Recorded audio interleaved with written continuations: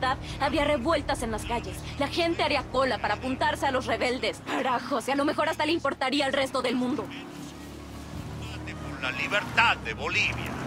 La inversión extranjera apoyada por el gobierno ha contribuido a... Ahí está el escondite.